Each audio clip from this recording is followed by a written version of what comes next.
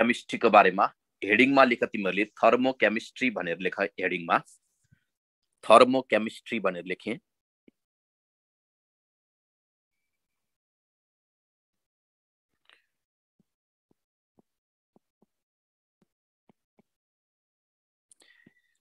यो थर्मोकेमिस्ट्री जुन छ नि थर्मोकेमिस्ट्री भनेको याद गर एउटा यस्तो ब्रान्च अफ केमिस्ट्री हो जसले के गर्छ हिट चेन्जको बारेमा मात्र के गर्छ एक्सप्लेन गर्छ क्या।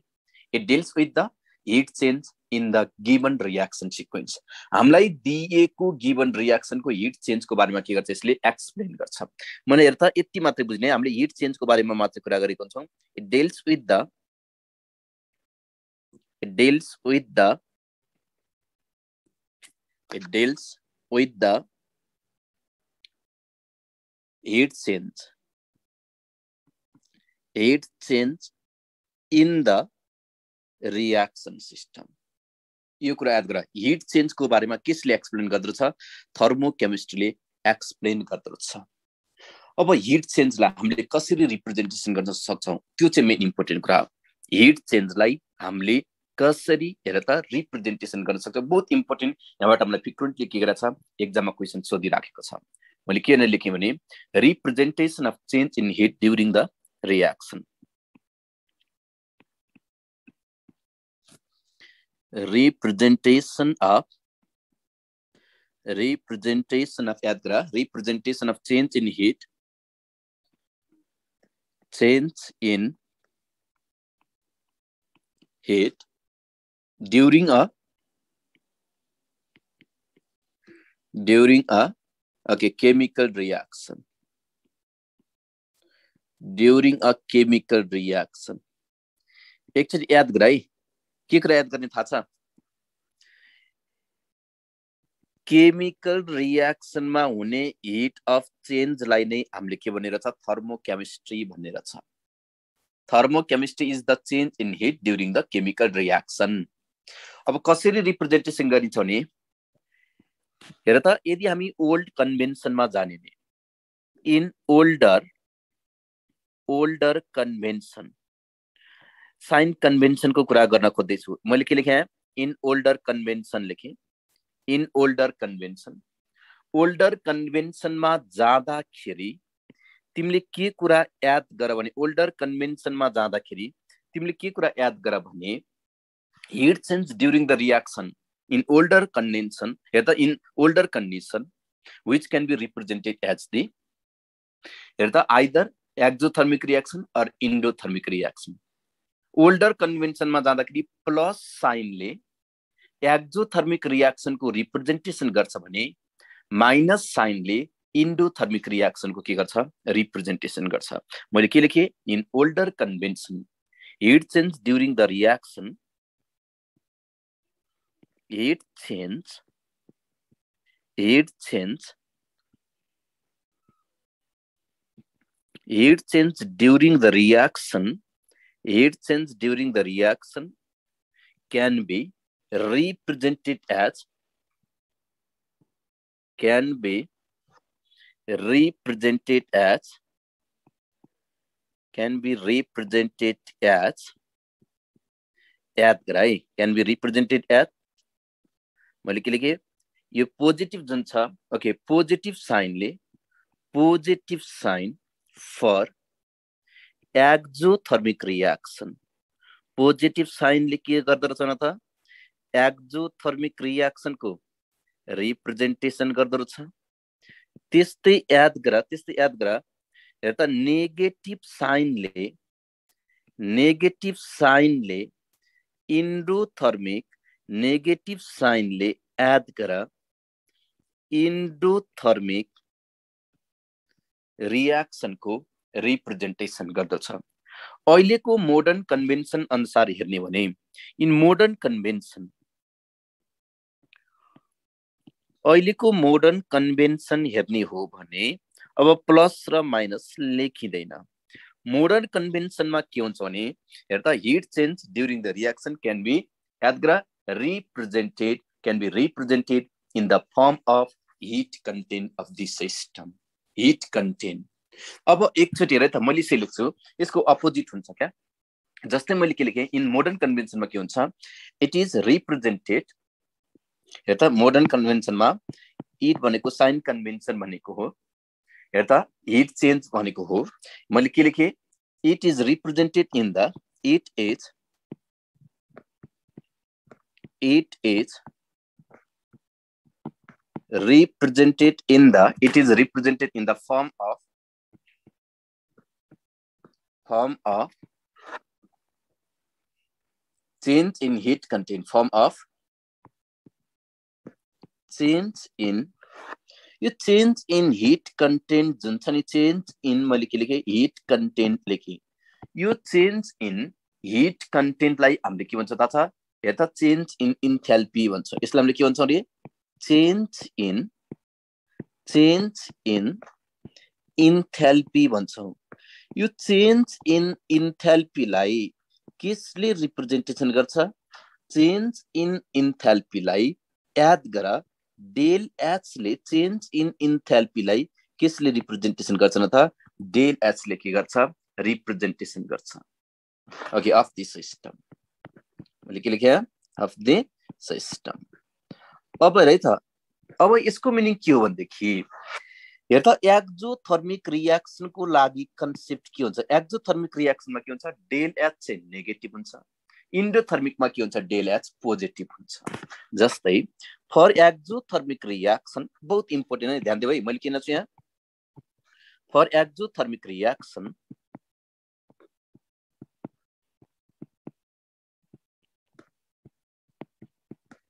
एक्जोथर्मिक रियाक्सनमा एक्जोथर्मिक रियाक्सनमा याद गरेर के हुन्छ थाहा छ हेर त एचआर यो भनेको के हो heat content of reactant is greater than heat content in product भनेको यसमा के हुन्छ अर यसको मिनिङ के हो डेल एच के हुन्छ यसमा डेल एच के हुन्छ डेल एच इज नेगेटिभ त्यस्तै याद गर हेर त फर इन्डोथर्मिक रियाक्सन इन्डोथर्मिक रियाक्सनमा चाहिँ के हुन्छ for endothermic for endothermic reaction endothermic रियाक्सनमा चाहिँ के हुन्छ थाहा छ? Okay heat content of product is greater than the heat content of reactant or यो भनेको यसमा चाहिँ के हुन्छ? डेल एस के हुन्छ न त यसको केसमा चाहिँ अब के हुन्छ? डेल एस के हुन्छ? पोजिटिभ हुन्छ। बुझ्यो डेलेस के हुन्छ? पोजिटिभ हुन्छ। यो कुरा हामीले के गर्नु पर्यो? याद गर्नु पर्यो। अब याद गर खासमा मैले हिट अफ रियाक्सनको कुरा गरिराखेको छु। यो हिट अफ रियाक्सन भनेको के होला? मलाई तिमीले बताउन सक्छौ? मैले के लेखेँ? Heat of reaction heat of reaction भनेको के हो? एकचोटि यसलाई फेरि मैले हेर्दा रिपिट गरेँ भन्ने नि त। थर्मोकेमिस्ट्रीले के गर्छ भने त? थर्मोकेमिस्ट्री भनेको change in heat during the chemical reaction हामीले थर्मोकेमिस्ट्री भन्ने हो। हेर्दा चेन्ज इन हिटलाई हामीले रिप्रेजेन्टेसन गर्न सक्छ दुईवटा तरिकाबाट। एउटा ओल्डर कन्भेन्सन मेथडबाट अर्को मोडर्न हेर्दा कन्भेन्सन मेथडबाट। ओल्डर कन्भेन्सन मेथडमा नेगेटिभ साइन हेर्दा पोजिटिभ साइनले एक्जोथर्मिक रियाक्सनको रिप्रेजेन्टेसन गर्छ नि। नेगेटिभ साइनले इन्डोथर्मिक रियाक्सनको के गर्छ? रिप्रेजेन्टेसन गर्छ। मोडर्न कन्सेप्टमा चाहिँ के हुन्छ भनेदेखि एक्जोथर्मिक रियाक्सनमा के हुन्छ? डेल एच नेगेटिभ हुन्छ भने इन्डोथर्मिक रियाक्सनमा के हुन्छ? डेल एच पोजिटिभ हुन्छ। पटक पटक इन्ट्रान्समा सोधेको कुरा यो कुरा तिमीले के गर? याद गर। अब यहाँ के भनेको छ? हिट अफ रियाक्सन भनेको छ। हिट अफ रियाक्सन भनेको केमिकल रियाक्सन कम्प्लिट हुँदाखेरि है इन्कम्प्लिट हुँदा होइन। केमिकल रियाक्सन कम्प्लिट हुँदाखेरि निस्किने हेर त हिट इभल्भ हुने अर्थात् एब्जर्भ हुने कन्डिसनलाई हामीले के भन्यो? हिट अफ रियाक्सन भन्यो।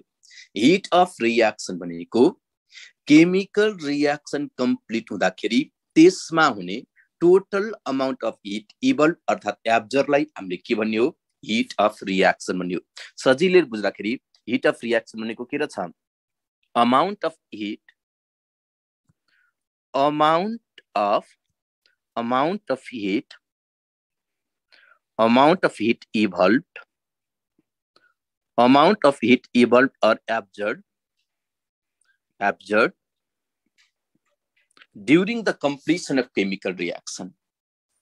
Chemical reaction complete हुँदाखेरि निस्किने यता केमिकल रियाक्सन कम्प्लिट हुँदाखेरि त्यसमा इभल्भ हुने अर्थात् एब्जर्ड हुने टोटल अमाउन्ट अफ हामीले हेर त हिटलाई के भन्ने हो? हिट अफ रियाक्सन भन्ने हो। जस्तै एकचोटि याद गर है त जस्तै हामीले त यो एक्सपेरिमेन्टली प्रुभ भ्यालु यो कार्बन यो कार्बन। अब यदि मैले यो कार्बन सोलिड फर्ममा छ भने बुझ यो कार्बनलाई मैले केसँग रियाक्सन गरेँ? सल्फरसँग रियाक्सन गरेँ। कार्बनलाई सल्फरसँग रियाक्सन गर्दाखेरि यहाँबाट क्या कार्बन डाइसल्फाइड आयो। यहाँबाट हाम्रो क्या कार्बन डाइसल्फाइड आयो। हामीले ब्यालेन्स गर्न सकिहाल्छौँ। कार्बन र हेर त सल्फरको बिचमा रियाक्सन गरेर कार्बन कार्बन डाइसल्फाइड भन्दाखेरि ओके त्यहाँबाट निस्किने हिट कन्टेन्ट चाहिँ कति हुन्छ? चेन्ज इन हिट कन्टेन्ट कति हुन्छ? याद गर। Plus twenty two point zero kilo calorie हुन्छ। अब याद गर अर्को कुरा तिमीलाई मैले सिकाउनु खोज्दैछु। यदि हामीले नाइट्रोजन ग्यास हो नाइट्रोजन ग्यास हो प्लस हेर त यो हाइड्रोजन पनि के हो? ग्यास हो। नाइट्रोजनलाई र मैले हाइड्रोजनलाई रियाक्सन गरायो भने त्यहाँबाट हाम्रो के निस्किन्छ न त? एनएस थ्री निस्किन्छ। हामीले ब्यालेन्स गर्न सकिहाल्छौँ होइन त? ओके यो पनि के हुन्छ? ग्यासियस फर्ममा आउँछ। यहाँबाट चाहिँ हाम्रो डेल एच कति आउँछ?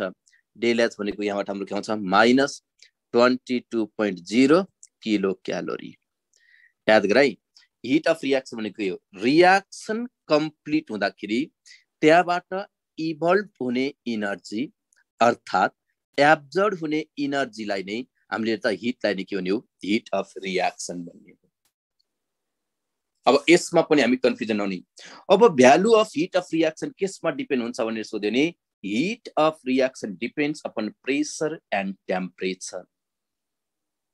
This can be generally given under the standard condition. Comparison गर्दाखेरि हामीले त यसलाई मेजर गर्दाखेरि one atmospheric pressure twenty five degree सेल्सियसमा के गर्ने मेजर गर्ने तिमीलाई एकदममा सोधिदिन सक्छ value of heat of reaction केसमा डिपेन्ड हुन्छ भनेर सोध्यो भने हिट अफ रियाक्सन भनेको प्रेसर र टेम्परेचरमा के हुन्छ? डिपेन्ड हुन्छ। बहुत इम्पोर्टेन्ट कुरा भने मैले यहाँ नोटमा हेर value of value of heat of reaction value of मैले के लेखेँ? Value of heat of reaction value of heat of reaction depends upon depends upon temperature depends upon temperature and pressure. Depends upon temperature and pressure यसमा तिमीले यति मात्रै बुझ्ने heat of reaction भनेको के हो भनेर सोध्यो भने हिट अफ रियाक्सन भनेको याद गर रियाक्सन कम्प्लिट हुँदाखेरि त्यहाँबाट हेर त एब्जर्ड हुने अर्थात् इभल्भ हुने टोटल अमाउन्ट अफ इनर्जीलाई हामीले के भन्ने हो। हिट अफ रियाक्सन भन्ने हो। हिट अफ रियाक्सन जहिले पनि केसमा डिपेन्ड हुन्छ भनेर सोध्यो भने टेम्परेचर र प्रेसरमा के हुन्छ भने डिपेन्ड हुन्छ भन्ने। कन्सट्यान्ट भोल्युममा heat of reaction is always equal to the change in internal energy बहुत इम्पोर्टेन्ट कुरा आएर। मैले के छु? एट कन्सट्यान्ट टेम्परेचरमा हेर त मैले के भन्दैछु न त्यहाँ? कन्सट्यान्ट टेम्परेचरको केसमा आएर। सरी कन्सट्यान्ट भोल्युमको केसमा टेम्परेचर होइन। कन्सट्यान्ट भोल्युम ओके अब मैले तिमीलाई सिकाउन खोज्दैछु हेर त। Okay heat of reaction at heat of heat of reaction heat of reaction at constant heat of reaction at constant volume. The heat of reaction मैले के लेखेँ that constant volume is equal to is equal to is equal to याद करा change in internal energy के लेखेँ यहाँ change in change in internal change in, internal change in internal energy लेखेँ। मैले के लेखेँ यहाँ चेन्ज एन्ड इन्टरनल इनर्जी लेखेँ। यसको मिनिङ के हो भनेदेखि हेर त क्युभी इक्वल टु मैले के लेख्न सक्छु हेर त चेन्ज इन इन्टरनल इनर्जी भनेको त ई हो नि त डेल ई त्यस्तै अर्को कुरा याद गर अर्को कुरा याद गर एट कन्सट्यान्ट प्रेसर एट मैले के लेखेँ कन्सट्यान्ट प्रेसर एट मैले के लेखेँ कन्सट्यान्ट प्रेसर कन्सट्यान्ट प्रेसरमा कन्सटेन्ट प्रेसरमा याद गर कन्सटेन्ट प्रेसरमा हिट अफ रियाक्सन भनेको केसँग इक्वल हुन्छ चेन्ज इन इन्थेल्पीसँग at constant pressure. हेर त heat of reaction is equal to the मैले के लेखेँ चेन्ज इन इन्थेल्पी यो डेल एच भनेको चेन्ज इन इन्थेल्पी हो डेल एच भनेको के त चेन्ज इन इन्थेल्पी हो डेल एच भनेको के रहेछ चेन्ज इन चेन्ज इन के रहेछ न त चेन्ज इन इन्थेल्पी हो के रहेछ चेन्ज इन इन्थेल्पी रहेछ यसमा पनि हामी कोही कन्फ्युजन नहुने यहाँसम्म मजाले बुझेको नि प्लिज एस बना यहाँसम्म बुझेको नि एस बना प्लिज यहाँसम्म बुझेको छ सबैजनाले बुझेको छ यहाँसम्म यहाँसम्म बुझाएको छ। यसमा पनि हामी कन्फ्युजन हुने। अब मैले तिमीहरूलाई सिकाउन खोज्दैछु। रिलेसन बिट्विन डेल हामीलाई कहिले कहिले एक्जाममा सोधिन सक्छ। What is the release relationship between del H and del E relationship between del H and del E del H भनेको change in enthalpy del E भनेको के हो? चेन्ज इन इन्टरनल इनर्जी मैले यहाँ हेडिङमा के लेखेँ भने हेडिङमा के लेखेँ भने relation between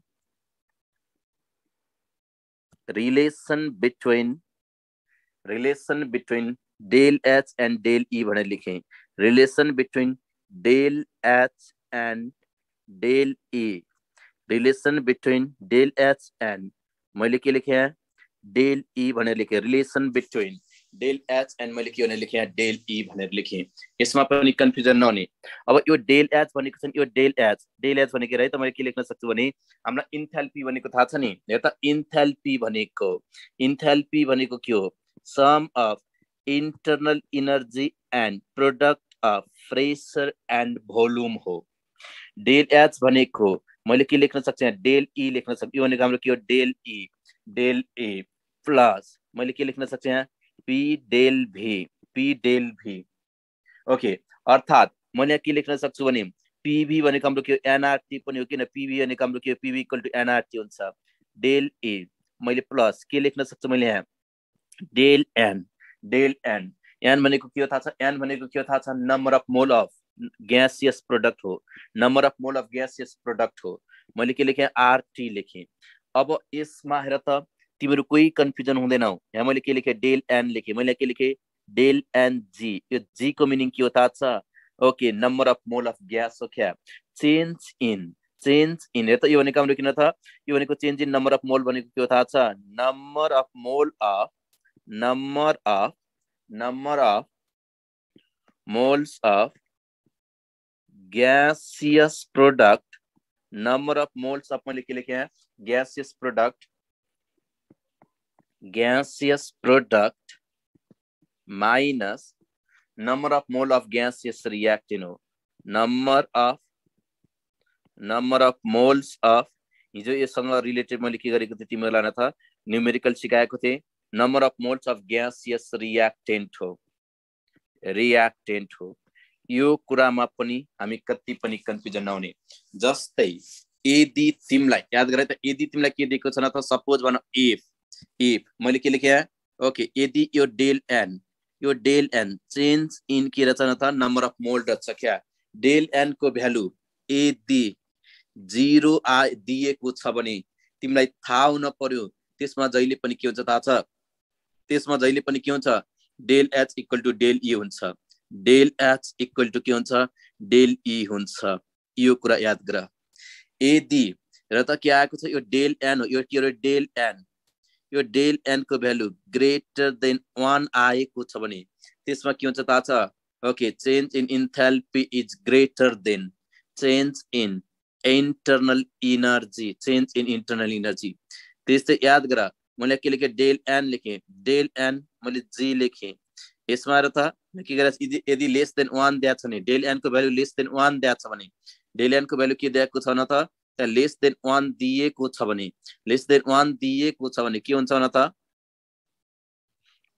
यसमा के हुन्छ del H it's less than del A हुन्छ के हुन्छ न त डेल ए हुन्छ यो कुरा हामीले के गर्नु पर्यो याद गर्न पर्यो यो कन्डिसन हामीले जान्नै पर्छ। कहिले कहिले यही मात्रै पनि सोधिन सक्छ। अनि याद गर याद गर।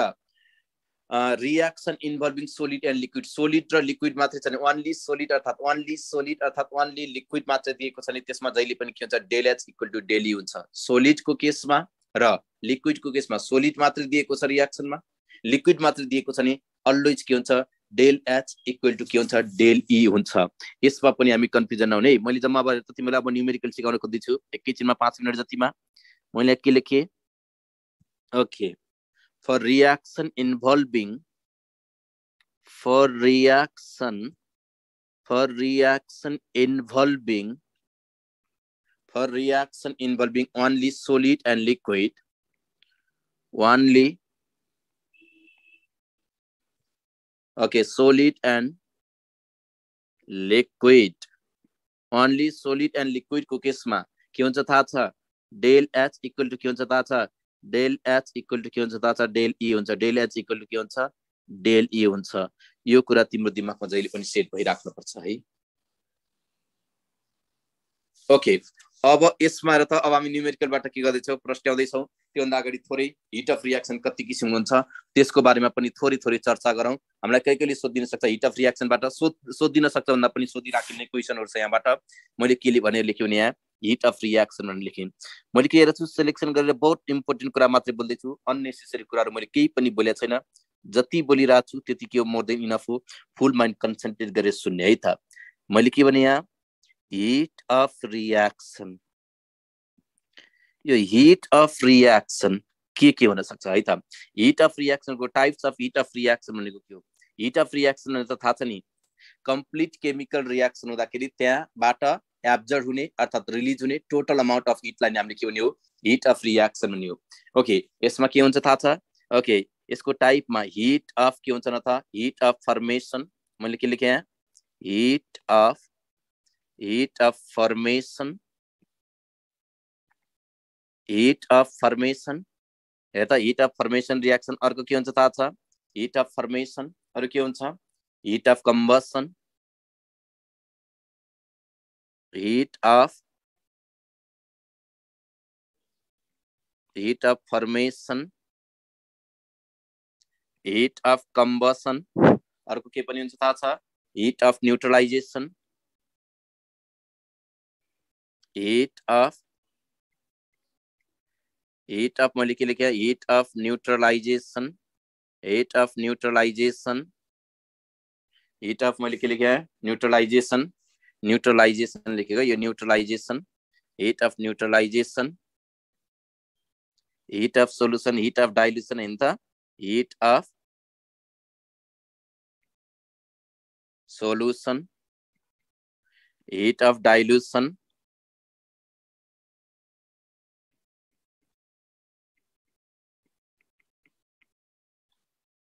heat of hydration, heat of dissociation, ionization एउटै heat of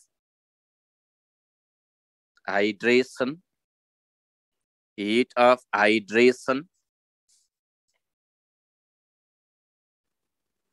इसमें याद करा heat of ionization heat of ionization भन्नु र heat of डिसो भन्नु।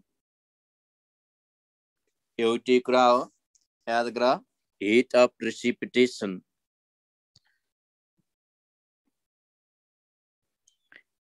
heat of heat of precipitation अब याद यादग्रह मैले यसलाई एकदमै सटसटमा भन्दैछु। ओके अब एकचोटि हेर्दा हाम्रो के हुन्छ भने त अब यहाँ अर्को कुरा तिमीलाई मैले तिमीलाई सिकाउन खोज्दैछु। हिट अफ फर्मेसन एकदमै सर्टकटमा मात्रै सिकाउँदैछु र अब याद गर है यो हिट अफ फर्मेसन जुन छ नि यो हिट अफ फर्मेसन भनेको चाहिँ कम्प्लिट केमिकल रियाक्सन हुँदाखेरि त्यसबाट इभल्भ हुने अर्थात् हेर्दा अझ यसरी बुझ्दा हुँदाखेरि हुन्छ हामीले। One mole of substance formation हुँदाखेरि one mole of substance formation हुँदाखेरि त्यहाँबाट रिलिज हुने अर्थात् इभल्भ हुने टोटल अमाउन्ट अफ इनर्जीलाई हामीले के भन्यो हिट अफ फर्मेसन भन्ने हो। मैले किन छु हिट अफ फर्मेसन मैले डिफिनेसन चाहिँ लेखिनँ। मैले बुझाउँदै मात्र बुझाउँदै गएको छु। हेर त heat of formation.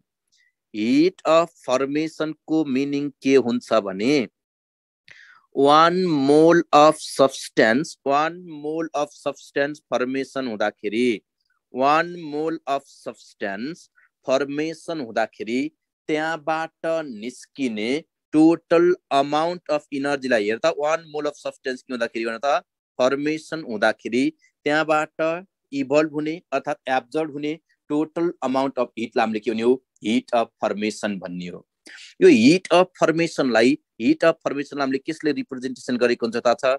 Del एचएफले representation गर्छौँ। जस्तै एकचोटि याद गर यदि हामीले कार्बन र अक्सिजनको बिचमा यसरी रियाक्सन गऱ्यो भने कार्बन डाइअक्साइड बन्छ। यहाँबाट one mole of carbon dioxide बनेको छ। One mole of substance formation हुँदाखेरि त्यहाँबाट निस्किने टोटल अमाउन्ट अफ हेर त हिट अर्थात् एब्जर्ड हुने टोटल अमाउन्ट अफ हिटलाई हामीले हिट अफ फर्मेसन भन्यो। त्यसको हिट अफ फर्मेसन भनेको कार्बन र अक्सिजन मिलेर कार्बन डाइअक्साइड ग्यास बन्दाखेरि हेर त त्यसको हिट अफ फर्मेसन भ्यालु भनेको के हुन्छ? Minus ninety four kilo calorie के हुन्छ न त? इनर्जी निस्किन्छ। यो कुरा सबभन्दा सुरुमा तिमीले के गर्नु पर्यो? याद गर्नु पर्यो। बुझ्यौ? ओके अर्को भनेको याद गर। Enthalpy of element in the neutral state मैले कुन ओड युज गरेको छु? न्युट्रल स्टेट भन्ने ओड युज गरेको छु। Enthalpy of element in the neutral state भनेर सोध्यो भने न्युट्रल स्टेटमा इन्थ्याल्पी अफ इलिमेन्ट कति हुन्छ भनेर सोध्यो भने कति हुन्छ? जिरो हुन्छ। मैले के भनेको छु। यो कुरा याद गर। Enthalpy of element in the enthalpy of enthalpy of element enthalpy of element in in natural अर्थात् न्युट्रल भनेको नेचुरल अर्थात् नर्मल एउटै कुरा हो। नेचुरल स्टेट भन्यो। नेचुरल स्टेटमा इन्थेल्पी अफ इलिमेन्ट कति हुन्छ भनेर सोध्यो भने कति हुन्छ न त? जिरो हुन्छ भने हामीले जान्न पर्यो। अर्को कुरा याद गर नेगेटिभ भ्यालु जति धेरै आयो कम्पाउन्ड त्यति नै के हुन्छ? मोर स्टेबल पनि हुन्छ। याद गर higher the negative value of enthalpy of formation greater the stability of compound enthalpy of formation याद गर है हेर त enthalpy of formation heat of formation भन्नु र इन्थेल्पी अफ फर्मेसन भन्नु एउटै कुरा हो नि फेरि इन्थेल्पी अफ फर्मेसनको भ्यालु जति धेरै नेगेटिभ आयो त्यति नै के हुन्छ? कम्पाउन्ड मोर स्टेबल हुन्छ। बुझ्यौ? मैले किन छु? Higher the negative value of प्रत्येक पोइन्ट याद गर्दै जाऊ मैले किन छु? Higher the higher the negative value of negative value of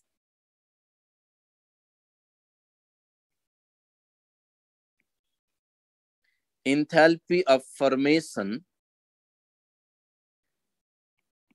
enthalpy of formation greater is a the greater is the stability greater is the stability of compound greater is the stability of compound यो कुरा के गर्नु पर्यो याद गर्नु पर्यो एलोट्रफको stable एलोट्रफको हेर त स्टेबल एलोट्रफ जुन छ नि स्टेबल एलोट्रफ्सको स्टेबल एलोट्रफ्सको हेर हामीलाई एकदमै सोध्ने क्वेसन यस्तो हुन्छ। स्टेबल एलोट्रफ्सको इन्थेल्पी अफ फर्मेसन हेर त स्टेबल एलोट्रफ्सको स्टेबल एलोट्रफ्सको हेर त इन्थेल्पी अफ फर्मेसन कति हुन्छ भने सोध्यो भने जिरो हुन्छ। बुझ्यौ? जिरो हुन्छ। यो कुरामा हामी कति पनि कन्फ्युजन आउने अब के छ अर्को? हिट अफ कम्बसन भनेको छ। हिट अफ कम्बसन भनेको के हो थाहा छ? अहिले यता न्युमेरिकलबाट सल्भ गराउँछु भनेको छु। हिट अफ कम्बसन भनेको के हो थाहा छ? One mole of सब्सटेन्सलाई okay graph very good graphite rhombic sulphur white फोस्फोरसहरूको पनि के हुन्छ? जिरो हुन्छ। किन?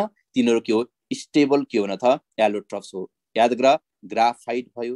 होइन फेरि डायमन्डको हुँदैन नि? डायमन्डको जिरो हुँदैन फेरि र हेर तर त ग्राफाइट भयो रोम्बिक सल्फर भयो होइन र? ओके व्हाइट फोस्फोस भयो तिनीहरू सबैको हेर्दा इन्थेल्पी अफ फर्मेसन के हुन्छ? जिरो हुन्छ। स्टेबल एलोट्रफको के हुँदो रहेछ भने त इन्थेल्पी अफ फर्मेसन जिरो हुन्छ। यसमा पनि कन्फ्युजन नहुने। अब हेर हिट अफ कम्बसन भनेको के हो भनेदेखि वान मोल अफ सब्सटेन्सलाई अक्सिजनसँग बाल्दाखेरि अक्सिजनसँग बाल्दाखेरि हेर्दा हुने हेर्दा टोटल अमाउन्ट अफ हिट इभल्भलाई हामीले के भन्ने हो? हिट अफ कम्बसन भन्ने हो।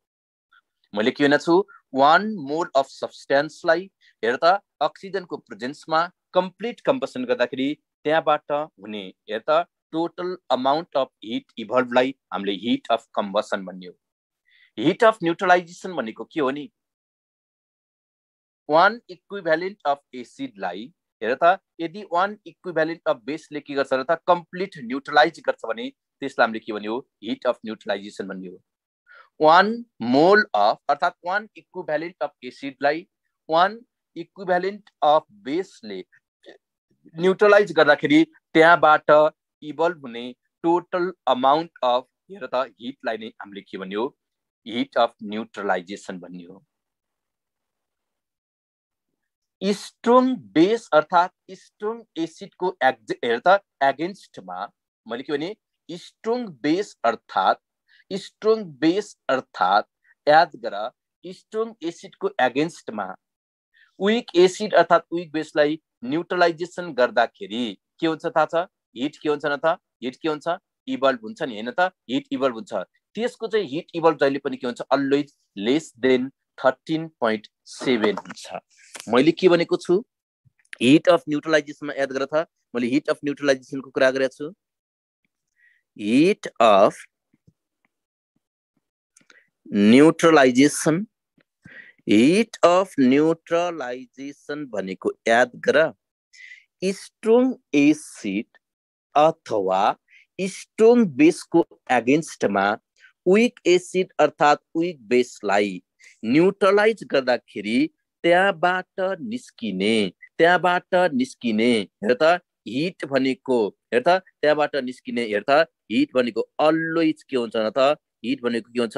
always less than always less than 13 point के हुन्छ त? 7 किलो क्यालोरी पर मोल हुन्छ। यो भनेको याद गर यता 57 57 kilo calorie 57 kilo calorie per mole हुन्छ भनेको। मैले के भनेको तिमीले बुझ्यौ यहाँ? मैले के भनेको यहाँ? याद गर। स्ट्रङ एसिड अर्थात् स्ट्रङ बेसको एगेन्स्टमा विक एसिड अथवा विक बेसलाई न्युट्रलाइज गर्दाखेरि हेर त त्यसको हेर त हिट अफ न्युट्रलाइजेसन त्यसको हिट कन्टेन्ट चाहिँ के हुन्छ जहिले पनि less than less than thirteen point seven हुन्छ भनेको। यसमा पनि हामी कन्फ्युजन नहुने। यसमा कति पनि कन्फ्युजन हुँदै नहुने विक एसिड अर्थात् विक बेसको हिट अफ न्युट्रलाइजेसन कति हुन्छ भने सोध्यो नि less than thirteen point seven हुन्छ भन्ने। यसमा पनि हामी कन्फ्युजन हेर त यसमा पनि हामी कति पनि कन्फ्युजन नहुने। अब हिट अफ सोल्युसन भनेको के हो भन्ला? हिट अफ सोल्युसनको मिनिङ के हो थाहा छ? हिट अफ सोल्युसनको मिनिङ के हो? One mole of solute completely dissolve हुँदाखेरि one mole of solute completely dissolve हुँदाखेरि त्यहाँबाट निस्किने टोटल अमाउन्ट अफ हामीले हिटलाई के भनेर त? हिट अफ सोलुसन भन्यो त्यसलाई हामीले के भनेर छ न त? हिट अफ सोलुसन भनेर छ हिट अफ डाइल्युसन भनेको के हो नि? मलाई बताउन सक्छौ? हिट अफ डाइल्युसन भनेको के हो? हिट अफ डाइल्युसन भनेको के हो थाहा छ? यदि याद गर सोलुसनमा वान याद गर हेर त सोलुट हाम्रो के हुन्छ त? सल्भेन्ट हुन्छ नि। हो कि होइन? याद गर यदि सोलुसनमा वान मोल अफ सोलुट हुँदाखेरि। हेर्दा वान मोल अफ सोलुट हुँदाखेरि सोलुसनमा वान मोल अफ सोलुट हुँदाखेरि त्यहाँबाट निस्किने टोटल अमाउन्ट अफ हिटलाई के भन्यो हिट अफ डाइल्युसन भन्ने हो। हिट अफ हाइड्रेसन भने के हो नि? हिट अफ हाइड्रेसन भनेको चाहिँ one mole of anhydrous or partially hydrated साल्टमा कति हेर्दा कति अमाउन्ट अफ भनौँ अर्थात् हेर्दा कति मोल अफ वाटर मोलिकुल चाहिन्छ त्यसलाई हामीले के भन्ने हो न त? हाइड हामीले हिट अफ हाइड्रेसन भन्ने हो। हिट अफ हाइड्रेसन भनेको चाहिँ वान मोल अफ एनाइड्रस अर्थात् पार्सियली हाइड्रेटेड साल्टमा हेर त कति अमाउन्ट अफ कति नम्बर अफ वाटर मोलिकुल चाहिन्छ त्यसलाई हाइड्रेसन गर्नको लागि त्यसलाई हामीले के भन्यो हिट अफ हाइड्रेसन भन्ने हो। हाइड्रेसन भनेको एक्जोथर्मिक प्रोसेस हो है फेरि। हाइड्रे त हाइड्रेसन भनेको के रहेछ एक्जोथर्मिक प्रोसेस हो। हिट अफ डिसोसिएसन भनेको के हो नि? One mole of electrolyte completely dissociate हुँदाखेरि त्यहाँबाट निस्किने टोटल अमाउन्ट अफ इनर्जीलाई हामीले के भन्छौँ? हिट अफ हामीले के भन्छौँ? डिसोसिएसन अर्थात् आयनाइजेसन भन्छौँ। हिट अफ प्रिसिपिटेसन भनेको वान मोल सब्सटेन्सबाट निस्किने यता टोटल वान मोल अफ सब्सटेन्सबाट प्रिसिपिटेसन निस्किँदाखेरि त्यहाँ याद गर त्यहाँबाट इभल्भ हुने टोटल अमाउन्ट अफ इनर्जीलाई हामीले के भन्छौँ भने त हिट अफ प्रिसिपिटेसन भन्छौँ त्यतातिर नजाउँ है त्यतातिर नजाउँ। यसरी हामीले हेर्दा यति मात्रै बुझ्दा हुन्छ हामीले। हामीले राम्रोसँग याद गर्ने हिट अफ फर्मेसनलाई राम्रोसँग बुझ्दाखेरि हुन्छ। अरू हामीलाई खासै चाहिँदैन। हिट अफ कम्बसनको बारेमा पनि मैले के गर्दैछु यहाँ? अब हेर्दा हामीलाई न्युमेरिकल सोध्ने कारणले गर्दाखेरि म न्युमेरिकलबाट तिमीलाई के गर्न खोज्दैछु? सल्भ गराउन खोज्दैछु। मैले यहाँ सबै लेखिराख्नै पर्दैन।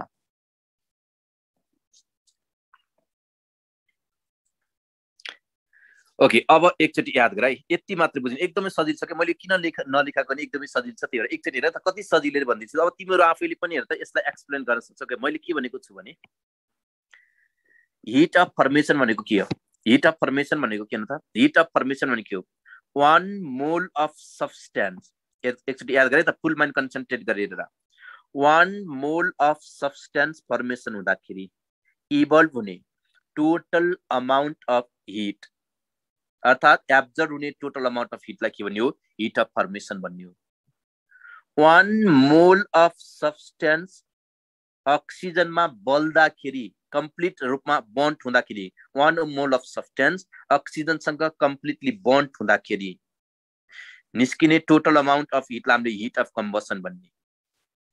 वान मलिक्युल अफ एसिडमा वान मलिक्युल अफ एसिडलाई वान मलिक्युल अफ बेसले कम्प्लिट न्युट्रलाइजेसन गर्दाखेरि इभल्भ हुने टोटल अमाउन्ट अफ हिटलाई हिट अफ न्युट्रलाइजेसन भन्ने विक एसिड र विक बेसलाई न्युट्रलाइजेसन गर्दाखेरि त्यसको हेर त हिट कन्टेन्ट हेर त कति हुनुपर्छ less than thirteen point seven kilo calorie per mole हुनुपर्छ भनेको छु हिट अफ सोल्युसन भनेको के हो one mole of substance completely dissolve हुँदाखेरि त्यहाँबाट निस्किने टोटल अमाउन्ट अफ हिटलाई हामीले के भन्ने हो? हिट अफ सोल्युसन भन्ने हो। हेर त हिट अफ डाइल्युसन भनेको याद गर सोल्युसनमा भएको हेर त वान याद गर सोल्युसनमा वान मोल अफ सोल्युट हुँदाखेरि त्यहाँबाट निस्किने टोटल अमाउन्ट अफ हिटलाई के भन्ने हो? हिट अफ डाइल्युसन भन्ने हो। साल्टलाई याद गर साल्ट हेर त एउटा हेर त हाम्रो के हुनसक्छ? हाम्रो के हुनसक्छ? एनाइडस साल्ट हुन पनि सक्छ पार्सियल्ली हाइड्रेटेड साल्ट हुन पनि सक्छ।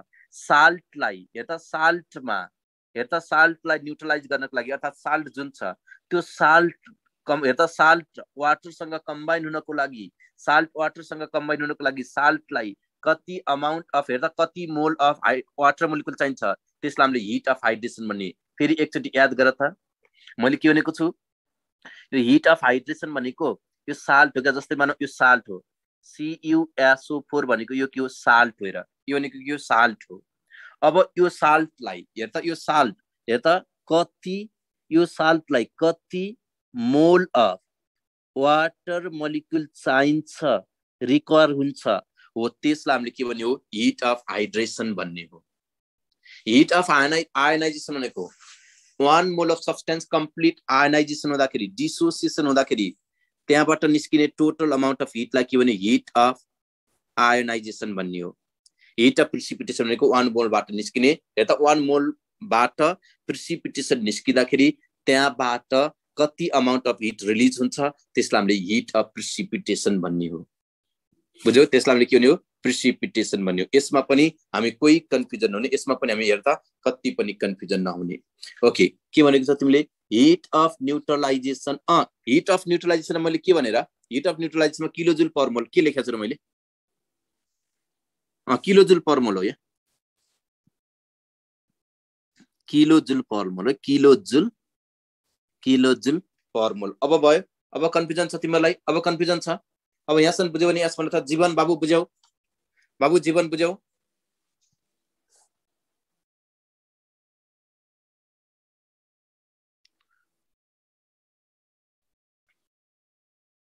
अगाडि बढ्दा हुन्छ। हेर्न नचाहिने कुरा मैले नलेखाएको मात्रै हिट अफ फर्मेसन चाहिँ हामीले के गर्नु पऱ्यो राम्रोसँग याद गर्नु पऱ्यो अब कम्बसनहरूको सबैको मैले के गर्दैछु? क्वेसन सल्भ गराउनेछु क्या अब हेर त न्युमेरिकल आयो है त? न्युमेरिकल आयो। मैले क्वेसन लेखिहालेँ। ओके फुल माइन्ड कन्सन्ट्रेट गरेर तिमीले के गर्छौ? यसको एन्सर भन्छौ। मैले के लेखेँ? Combustion of glucose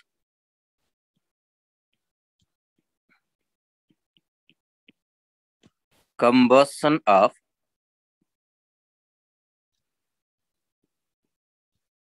glucose takes place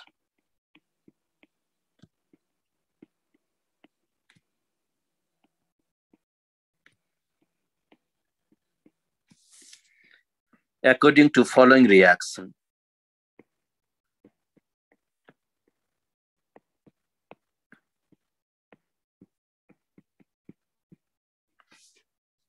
Okay, glucose one equals C6H12O6. यो अर्ग्यानिक कम्पाउन्ड हो। हेर त कम्बसन गर्नको लागि हामीलाई के चाहिन्छ? अक्सिजन चाहिन्छ। कुनै पनि अर्ग्यानिक कम्पाउन्डलाई तिमीले कम्प्लिट कम्बसन गरेको छ भने त्यहाँबाट जहिले पनि हाम्रो के आउँछ न त कम्प्लिट कम्बसन गरेको छ भने त्यहाँबाट जहिले पनि फाइनल प्रडक्टमा के आउँछ? कार्बन डाइअक्साइड र के आउँछ न त वाटर मोलिकुल आउँछ। वाटर मोलिकुल आउँछ। ओके यो भनेको हेर्दा वाटर भ्यापोर निस्किने त्यो भएर मैले ग्यास लेखेको। हेर्दा यो अक्सिजन पनि ग्यास स्टेटमा हुन्छ ब्यालेन्स गर्न सक्छौ। यो सर्ट पैठामा सिक्स सिक्स सिक्स तिमीले के गरिदिन्छौ? थपिदिन्छौ। यसको याद गर। हिट अफ कम्बसन भ्यालु चाहिँ याद गर यो क्वेसनमै दिन्छ। यसको हिट अफ कम्बसन भ्यालु भनेको minus seventy two kilo calorie हुन्छ। किलो क्यालोरी हुन्छ। अब यसमा र हेर त क्वेसन कम्प्लिट भएको छैन। क्वेसन के हो भनेदेखि यहाँबाट कति अमाउन्ट अफ इनर्जी हेर त यहाँबाट हेर कति अमाउन्ट अफ इनर्जी निस्किन्छ भनेर सिकाउन खोज्दैछु। जस्तै हेर त one point six gram of ग्लुकोजबाट कति अमाउन्ट अफ हिट इभल्भ हुन्छ भनेर सिकाउन खोजेको how much energy how much energy will be required for will be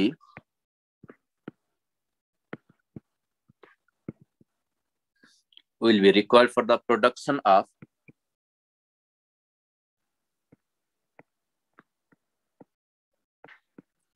will be required for the production of one point yadgra 1.6 gram of gram of glucose यसमा र जस्तै हेर त यो माथि जुन रियाक्सन दिएको छ नि यस्तो क्वेसन आएको छ नि त्यो रियाक्सन हेर त त्यो रियाक्सन तिमीले रिभर्स साइडबाट लेख। रिभर्स साइडबाट लेख। इनर्जी निकाल्ने सोधेको छ इनर्जी निकाल्ने सोधेको छ र डेल एचको भ्यालु इनर्जी निकाल्ने सोधेको छ र याद गर डेल एचको भ्यालु नेगेटिभ दिएको छ भने रियाक्सन रिभर्स साइडबाट लेख। रिभर्स साइडबाट लेख्दाखेरि के हुन्छ? यसको रिभर्स साइडबाट तिमीले लेख्यो भने के आउँछ त? सुरुमा के लेख्ने हामीले? कार्बन डाइअक्साइड र याद गर कार्बन डाइअक्साइड र तिमीले के गर्छ त यो कार्बन डाइअक्साइड र वाटर मोलिकुल कार्बन डाइअक्साइड र वाटर मोलिकुल अब तिमीले के गर हेर त उल्टो साइडबाट लेखेँ उल्टो साइडबाट लेख्दाखेरि अब यहाँबाट हाम्रो के आउँछ त उल्टो साइडबाट लेख्दाखेरि यहाँबाट हाम्रो के आउँछ? के आउँछ न त C six S twelve O six okay solid स्टेटमा हुन्छ ग्लुकोज त प्लस याद गर मैले के लेखेँ ओके अक्सिजन यो ग्यासियस स्टेटमा हुन्छ ब्यालेन्स गर्नुपर्छ भनेर चाहिँ ब्यालेन्स भइरहेको छ रियाक्सन त्यही पनि। हामीले त यदि डेलेस नेगेटिभबाट डेलेसको भ्यालु नेगेटिभ दिएको छ भने रिभर्स साइडबाट रियाक्सन लेख्दाखेरि के आउँछ त्यहाँ डेलेसको भ्यालु कति आउँछ पोजिटिभ आउँछ त्यसो भए अब मैले यहाँ हेर त डेल एचको भ्यालु कति लेख्न सक्छु डेल एचको भ्यालु मैले के लेख्न सक्छु त plus seventy two kilo calorie लेख्न सक्छु अब हेर त यो ग्लुकोज जुन छ नि यो ग्लुकोज यो ग्लुकोज जुन छ नि मलाई बताउन सक्छौ यो ग्लुकोजको मोलिकुलर वेट कति हुन्छ थाहा छ? ग्लुकोजको मोलिकुलर वेट कति हुन्छ? ग्लुकोजको मोलिकुलर वेट कति हुन्छ मलाई भनिदेऊ त। ग्लुकोजको मोलिकुलर वेट कति हुन्छ प्लिज? ग्लुकोजको मोलिकुलर वेट निकाल्दा त कति हुन्छ? ओके। हन्ड्रेड एटी ग्राम आएर सबैको कति आएको छ? हन्ड्रेड एटी एएमयु अर्थात् हन्ड्रेड एटी ग्राम आयो। अब याद गर। हामीलाई के थाहा छ भने हामीलाई के थाहा छ भने याद गर थाहा one mole of glucose one mole. One mole of ग्लुकोजमा कति ग्राम हेर त वान मोल अफ ग्लुकोजमा हेर त कति ग्राम हाम्रो ग्लुकोज हुन्छ न त? हन्ड्रेड एट्टी ग्राम हो कि होइन? वान मोल अफ ग्लुकोजबाट वान मोल अफ ग्लुकोज हेर त वान मोल अफ ग्लुकोज निकाल्नको लागि वान मोल अफ ग्लुकोज निकाल्नको लागि हामीलाई हेर्दा कति अमाउन्ट अफ इनर्जी चाहिँदो रहेछ? Seventy two. हो कि न? Seventy two kilo calorie of के चाहिँदो रहेछ न त? इनर्जी चाहिँदो रहेछ। हो कि होइन? इनर्जी चाहिँदो रहेछ। अर्को भनेको याद गर। अर्को भनेको याद गर। त्यसो भए one point six gram. One point six gram हेर्दा ग्लुकोज निकाल्नको लागि कति अमाउन्ट अफ इनर्जी चाहिन्छ भन्ने सोध्यो त? Seventy two upon hundred eighty into one point six गर न। यहाँबाट यति हेर्दा यति kilo calorie of energy is required. यहाँबाट कति आयो भन त? यहाँबाट कति आएको छ? क्यालकुलेसन गरेको छ कसैले?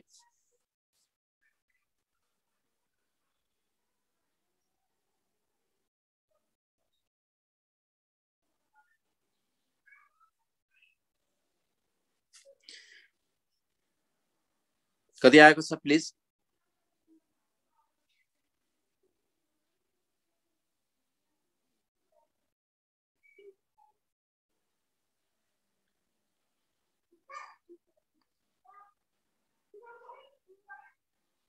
Okay zero point six four very good कति आयो? जिरो पोइन्ट के आयो six four kilo calorie per mole होइन त हेर्दा किलो क्यालोरी के निस्क्यो? इनर्जी निस्क्यो। त किलो क्यालोरी अफ इनर्जी निस्क्यो। यति हाम्रो एन्सर छ। अब हेर त मैले किन छु तिमीलाई के भन्छ इनर्जी निकाल्ने सोध्या छ। र तिमीलाई के दिएको छ? डेल एसको भ्यालु नेगेटिभ दिएको छ नि त्यसलाई सबभन्दा सुरुमा पोजिटिभ बनाउने तर्फ लैजाने किन? इनर्जी त नेगेटिभमा हुँदैन नि त। ओके अब हेर त तिमीले हेर त ग्लुकोज हेर त त्यसरी तिमीले डेलएचको भ्यालु पोजिटिभ निकालिसके पछाडि वान मोल ग्लुकोज निकाल्नको लागि त हामीलाई के चाहिँदो रहेछ? एक सय अस्सी ग्राम ग्लुकोज निकाल्नको लागि हामीलाई के चाहिँदो रहेछ? सेभेन्टी टू किलो हेर त क्यालोरी इनर्जी चाहिँदो रहेछ भने वान पोइन्ट सिक्स निकाल्नको लागि यसै पनि हाम्रो युनिटरी मेथडबाट आइहाल्यो।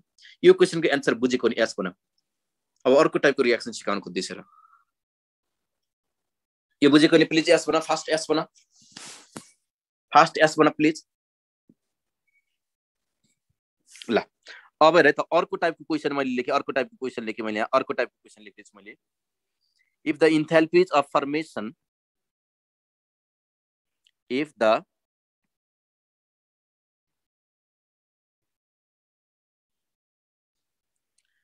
enthalpies of, the enthalpy of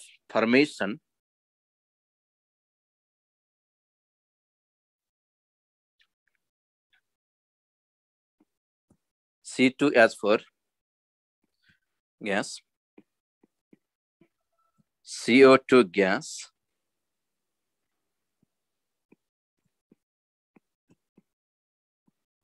water molecule जहिले पनि हामीले स्ट्यान्डर्ड कन्डिसनमा मात्रै रियाक्सन क्यारिड आउट गर्ने भ्यालु स्ट्यान्डर्ड कन्डिसनमा दिन्छ जहिले पनि। ओके स्ट्यान्डर्ड कन्डिसन भनेको हेर त ट्वेन्टी फाइभ डिग्री सेल्सियस र याद गर एन्ड एटमोस्फेरिक प्रेसर एन्ड हेर त एटमोस्फेरिक प्रेसर वान दिन्छ। One atmospheric pressure one atmospheric pressure दिन्छ। यसमा भ्यालु क्रमशः इथेनको फिफ्टी टू तिन सय चौरानब्बे दिएको छ यसको कार्बन डाइअक्साइडको त्यस्तै याद गर वाटर मोलिकुलको कति दिएको छ माइनस दुई सय छयासी के दिएको छ किलोजुल पर मोल दिएको छ। किलोजुल पर मोल दिएको छ हेर्दा यो हेर्दा कर्मसँग यसरी दिएको छ respectively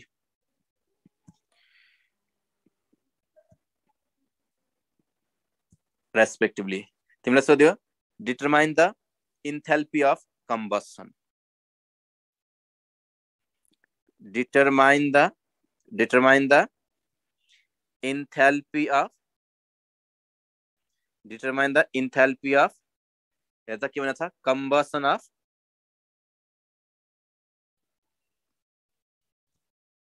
combustion of ethene C2H4 ल. यसमा हेर्दा तिमीले एन्सर कसरी निकाल्छ यसको सोल्युसन गर त प्लिज यसको सोल्युसन कसरी निकाल्छ एकचोटि हेरौँ यसको सोल्युसन कसरी निकाल्छ एकचोटि तिमीहरूको दिमाग पनि चेक गर्न पर्यो नि त फटाफट एन्सर निकाल.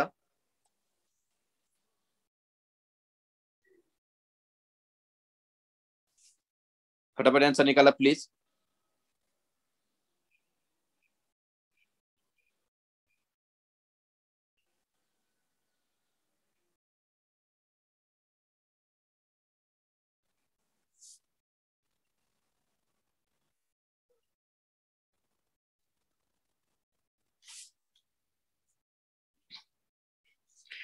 सबभन्दा सुरुमा हामीले रियाक्सन लेख्न पर्यो क्या तिमीले त रियाक्सन लेख्दाखेरि था? तिमीले यहाँ के हो भने यहाँ? सी टू एच फोरलाई रियाक्सन गर्दाखेरि यहाँबाट के निस्किन्छ? कार्बन डाइअक्साइड र वाटर मोलिकुल निस्किन्छ। कुनै पनि हाइड्रो कार्बनलाई तिमीले कम्बसन गरेका छौ भने कम्बसन गरेका छौ भने त्यहाँबाट जहिले पनि फाइनल प्रोडक्टमा के आउँछ? कार्बन डाइअक्साइड र के आउँछ? वाटर मोलिकुल आउँछ क्या? जस्तै मैले यहाँ के लेख्न सक्छु भने यहाँ त मैले के लेख्न सक्छु भने C two C two H four हेर त यसलाई मैले केसँग रियाक्सन गर्दैछु थाहा छ? ओके अक्सिजनसँग कम्बसन गर्न खोज्दैछु। अक्सिजनसँग हेर त मैले के गर्न खोज्दैछु यहाँ? कम्बसन गर्न खोज्दैछु। अक्सिजनसँग। अब हेर कम्बसन गर्दाखेरि के आउँछ? कार्बन डाइअक्साइड र के आउँछ न त? वाटर मोलिकुल आउँछ।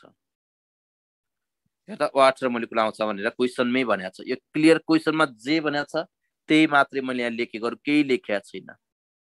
यसमा र reaction should be balance reaction balance गर। रियाक्सन ब्यालेन्स गर्न सकिहाल्छ हिट एन्ड ट्रायल मेथडबाट हामीलाई के सोधेको छ? डेल एच सोधेको छ। हामीलाई के सोधेको छ? डेल एच यहाँबाट हामीले के निकाल्नु पर्ने छ? इन्थेल्पी अफ कम्बसन निकाल्नु पर्ने छ। अब याद गर। रियाक्सन लेख्दा फर्मेसनलाई हेर्ने कि कम्बसनलाई हेर्ने? हामीले के गर्ने हो? कम्बसनलाई हेर्ने। कम्बसनलाई हेर्ने। अब एकचोटि याद गराइ त। अब यहाँबाट हामीले के निकाल्नु पर्ने छ? डेल एच निकाल्नु पर्ने छ। यो डेल एच चेन्ज इन हामीले के निकाल्नु पर्ने छ न त? चेन्ज इन हिट कन्टेन्ट निकाल्नु पर्ने छ। यसमा है त। अब मैले के लेख्न सक्छु नि त एउटा फर्मुला छ क्या। Okay summation. Change in. मैले के लेख्छु र त? Enthalpy of formation. Change in enthalpy of formation. Of प्रोडक्टको लेख्दैछु। मैले के लेख्दैछु? प्रोडक्ट। प्रोडक्ट। याद गर। माइनस माइनस के हो त summation of del H formation of reactant यो फर्मुला हामीले के गर्ने युज गर्ने अब है त हामीले यो फर्मुला युज गर्दाखेरि अब हामीले पहिला सबभन्दा सुरुमा प्रोडक्ट हेर्दा प्रोडक्ट साइडमा हेर्ने प्रोडक्ट साइड भनेको यति साइडलाई हेर प्रोडक्ट साइडलाई हेर्ने प्रोडक्ट साइडमा हेर्दाखेरि प्रोडक्ट साइडमा हेर त के छ कार्बन डाइअक्साइड कति छ? कतिवटा कार्बन डाइअक्साइड मोलिकुल छ? दुईवटा कार्बन डाइअक्साइड मोलिकुल निस्केको छ। इन्टु कार्बन डाइअक्साइडको भ्यालु हामीलाई कति दिएको छ यहाँ? कति दिएको छ कार्बन डाइअक्साइडको भ्यालु हामीलाई? माइनस कति दिएको छ? न त माइनस कति दिएको छ? कार्बन डाइअक्साइडको भ्यालु माइनस कति दिएको छ? माइनस कति दिएको छ? तिन सय चौरानब्बे। माइनस तिन सय चौरानब्बे। माइनस तिन सय चौरानब्बे दिएछ हो कि होइन? प्लस प्रोडक्ट साइडमा के छ? वाटर मोलिकुल टू वाटर मोलिकुलको भ्यालु कति दिएको छ? माइनस दुई सय छयासी माइनस दुई सय छयासी दिएको छ। याद गरेर माइनस दुई सय छयासी दिएको यो भनेको के हो? प्रोडक्ट साइड हो। माइनस रियाक्टेन्ट साइडमा त यो त हामीलाई के भनेको छ? कम्बसन भनेको छ अक्सिजनको दिँदैन अक्सिजनको भ्यालु राख्न पनि पर्दैन। दिँदैन अक्सिजनको भ्यालु नदिएको अवस्थामा राख्नै पर्दैन। भनेपछि अब हेर त यहाँबाट सी टू एच फोर जुन छ नि सी टू एच फोरको चाहिँ कति दिएको छ हाम्रो भ्यालु माइनस फिफ्टी टू दिएको छ। फिफ्टी टू दिएको छ। यहाँबाट कति आयो? टोटल यहाँबाट हाम्रो भ्यालु कति आयो भने त? टोटल भ्यालु कति आएको छ? ओके कति आएको छ? ओके निकालिसक्यो तिमीले कति आएको छ? माइनस चौध सय बाह्र किलो जुल पर मोल किलो जुल पर मोल आएको छ हो किन किलो जुल के आएको छ? पर मोल आएको छ। यसमा पनि हामी कोही कन्फ्युजन हुने। हामीलाई एक्जाममा सोध्ने क्वेसन यस्तै लेभलको हुन्छ क्या? याद गर हामीलाई एक्जाममा सोध्ने क्वेसन के हुन्छ? यस्तै यस्तै लेभलको मात्रै हुन्छ र। यस्तै लेभलको हुन्छ। अरू हुँदैन। अब मैले तिमीलाई के सिकाउन खोज्दैछु भने हेस लको बारेमा के गर्छु? थोरै डिस्कसन गराउँछु अनि फेरि के गर्नेछु? न्युमेरिकल सिकाउने छु मैले क्वेसनहरू प्र्याक्टिस गराउनेछु। हेस लको बारेमा जिप्स फ्री नजिकको बारेमा म सिकाउन खोज्दैछु। अल्छी त लाग्छ नि तिमीहरूलाई? के अल्छी लाग्छ? बुझिरहेछौ? कि के पढ्यो के पढ्यो जस्तो भइरहेछ?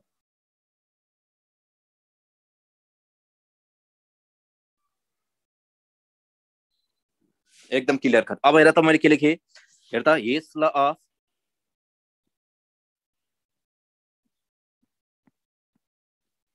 हेर त कन्सट्यान्ट हिट समेसन अर्थात् मैले के लेखेँ हेस ल मात्र लेख्न पनि सक्छु सिम्पली हेस ल याद गर मैले के लेखेँ constant heat summation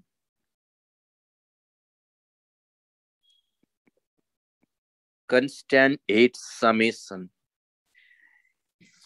यसको मिनिङ के हो थाहा छ एउटा स्टेपमा रियाक्सन हुँदाखेरि अर्थात् धेरै स्टेपमा रियाक्सन हेर्दा प्रोसिड हुँदाखेरि पनि त्यसको टोटल हिट चेन्ज के हुन्छ जहिले पनि सेम हुन्छ क्या? त्यसलाई नै हामीले के भन्ने त? त्यसलाई नै हामीले के भन्ने त हेस ल अफ के भन्ने त? कन्सट्यान्ट हिट समेसन भन्ने हो। अर्थात् हेस ल भन्यो हेस ल भनेको के रहेछ हेस ल भनेको याद गर। Total heat change of the chemical reaction is same. Whether the reaction is proceed in, whether the reaction is हेर proceed in one step or के बना था one step or के बना था series of step. एकैछिन मैले तिमीलाई एक मिनट जति डिस्टर्ब गर्न मेरो इमर्जेन्सी कल म फोन उठाइहालेँ पहिला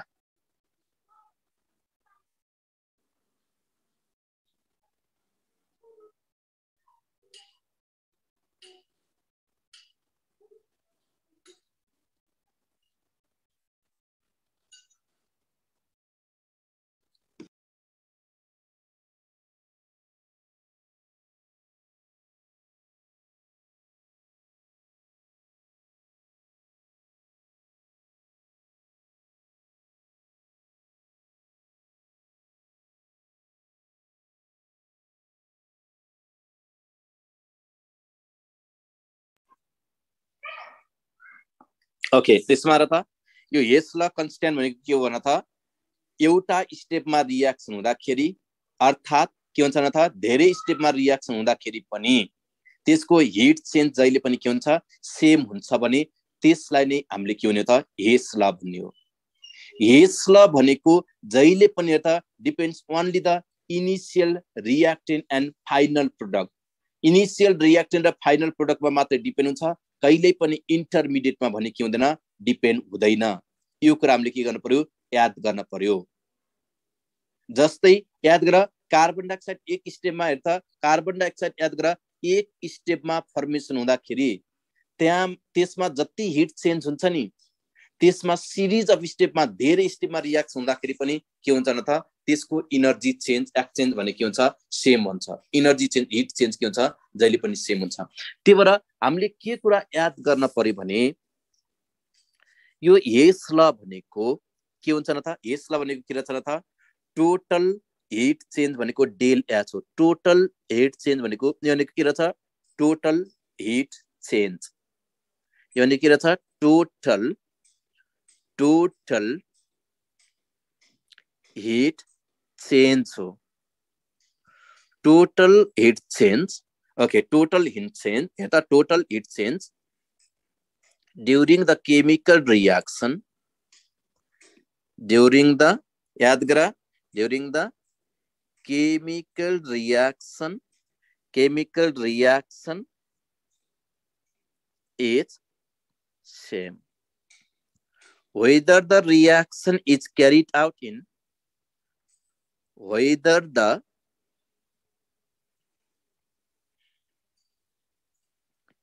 reaction is carried out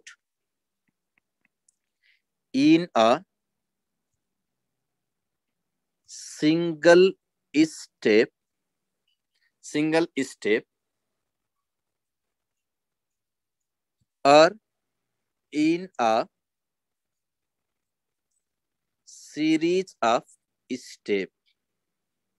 हो यसलाई हामीले के भने यसलाई भन्यो यसलाई भनेको के रहेछ न त? यसलाई भनेको के हो भनेदेखि याद गर। मैले तिमीलाई बुझाउन खोजेको कुरा के हो भने टोटल हिट चेन्ज चाहिँ केमिकल रियाक्सन हुँदाखेरि टोटल हिट चेन्ज चाहिँ जहिले पनि के हुन्छ? सेम हुन्छ। चाहे त्यो रियाक्सन एक स्टेपमा कम्प्लिट गरेको होस् अर्थात् त्यसमा र त सिरिज अफ स्टेपमा के गरेको होस्? कम्प्लिट गरेको होस्। त्यो कुरा हामीले याद गर्नु पर्यो। कहिल्यै पनि हेर त कहिल्यै पनि हेर त यस ल भनेको केसमा डिपेन्ड हुँदैन does not depend upon the intermediate product does not does not depend does not depend upon the does not depend upon the what does not depend upon the what does not depend upon the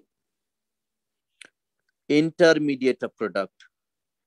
Enter mediate intermediate product. Intermediate product.